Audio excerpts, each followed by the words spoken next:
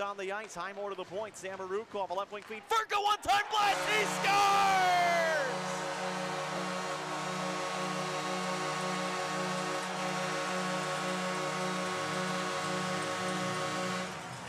You think Drew Bannister's team got the message? Just 128 in.